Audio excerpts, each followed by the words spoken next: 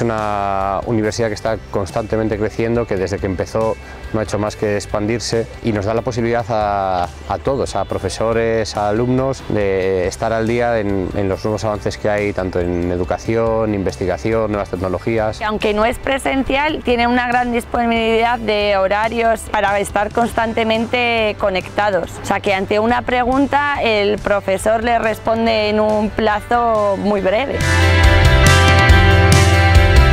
Tienes que poner todos los medios, todas las estrategias, todas las ayudas para que lo que tú transmites sea en lo que crees y se lo hagas llegar a tus alumnos.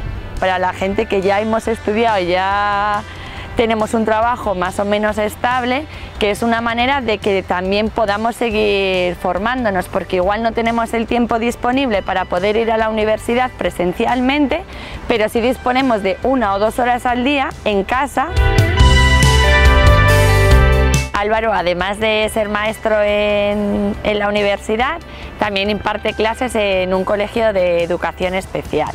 Y aparte de eso, su mayor hobby es el baloncesto. Pues nada, llevo creo que son 16 años entrenando al baloncesto. Y da clases en un equipo de baloncesto infantil de niños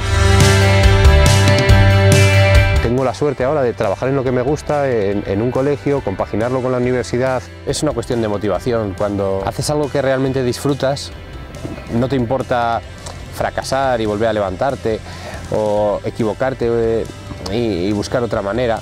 Lo que te importa es que al final mm, estés contento con lo que estás haciendo y que tengas un resultado positivo.